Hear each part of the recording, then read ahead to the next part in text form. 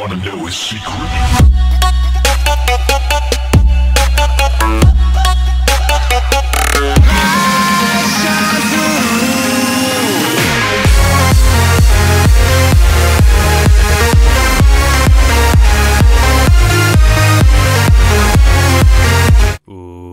What is up guys, Grenader here, welcome and today I'm going to show you guys how to record in 60 frames per second. Yep, you heard it right. So if you're coming here and you already know how to record in 60 frames per second but don't know how to render in 60 frames per second, I got your back dude. Um, this is a two-part series where I am going to show you guys how to record and how to upload in 60 frames per second. I don't do it because it's a lot of work and I need a, I'd rather buy an HD PVR, or not an HD PVR, a uh, Elgato HD60. But uh, you guys are here for a reason, so I'm going to help you out. Um, so this episode is uh, actually showing you guys in depth and how to change and how to record, how to actually record in 60 frames per second.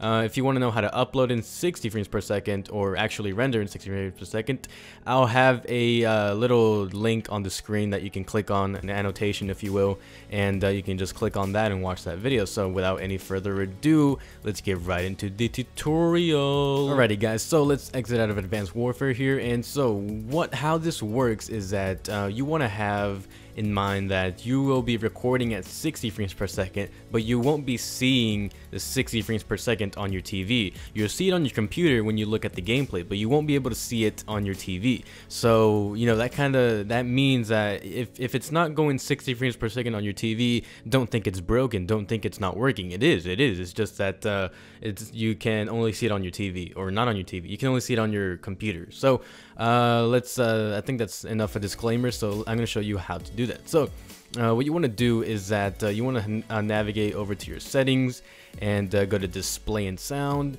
and change the resolution to 720. What this will do is that it'll make your TV flash and then turn back on and then it'll say keep this resolution, uh, your display will go back in the last settings in 15 seconds or whatever, just hit yes um, what I just did, or what we just did, is that um, we changed from 1080p 30 FPS to 720 to 60 FPS. So now we're recording at uh, 60 frames per second. Now, this will lower the quality, but you know, in return, you get that extra frames. So this will work for Xbox 360, Xbox One, PS4, and PS3. So uh, whatever the equivalent is to your settings and going to your sound or display, uh, find your display, go to resolution resolution, change that to 720, and hopefully this will work and it'll change it to 60 frames per second. So like I said, it's not going to look 60 frames per second right off the back on your TV, but uh, I'm, I'm going to see if I can use this gameplay here as an example.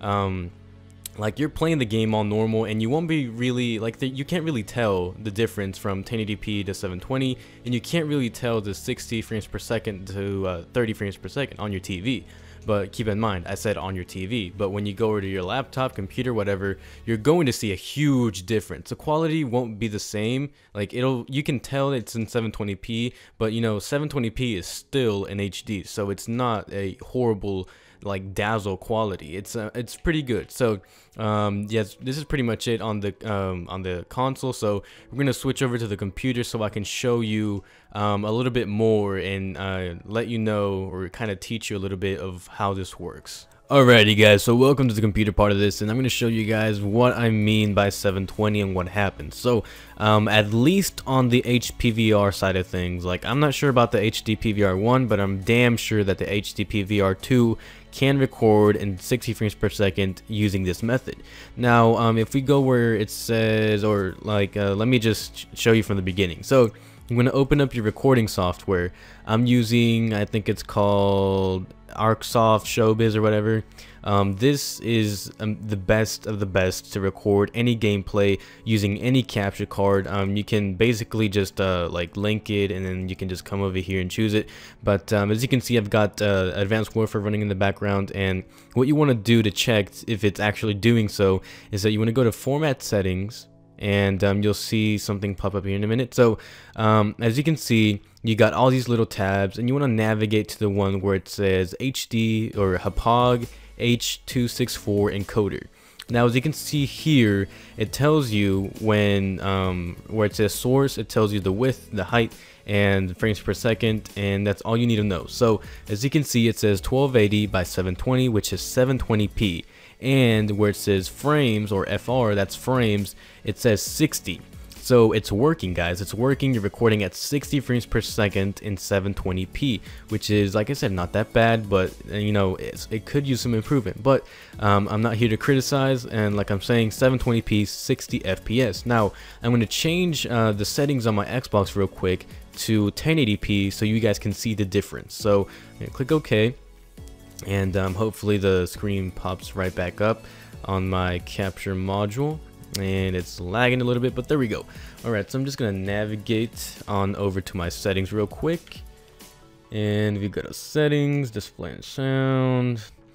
And here we got the resolution. So we're gonna change the resolution again to 1080p and the system itself should kind of not it won't reboot but it will just like kind of flicker a little bit. Hit yes and as you can see right there, where it says input resolution, it just switched that easy, that fast. It didn't glitch out. And we're going to go to format settings again. And it should say, um, whoa, it shouldn't say that. Hang on. Let me fix it. Let me fix this real quick. Back out, go back to the game we were just in. Okay. Uh, format settings. It should just say 1920 1080 i don't know why it says 60 that's kind of odd.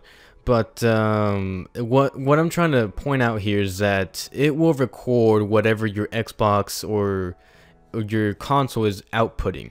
So this actually works better on the last gen or previous gen consoles because the xbox 360 can't output 60 frames per second on your tv and the X or the PS3 can't do that either. So the way that like montage makers and people that use 60 frames per second do it is by using it this way. So uh, that's pretty much it guys. Thanks for watching. Um, if you enjoyed this video make sure to leave a like support my videos uh, subscribe if you haven't already uh, leave a comment down below if this worked or not for you and like I said this um, is a it's a better way to record to be honest because it's in 60 frames per second. YouTube is already optimized for 60 frames per second so why not go ahead and make use of that? So this is uh, the end of part one.